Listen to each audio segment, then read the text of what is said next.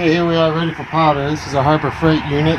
So a big thing on this, make sure you hit it with the juice for about almost 10 seconds before you start your powder coating. Or otherwise it doesn't take well. Alright, here we go.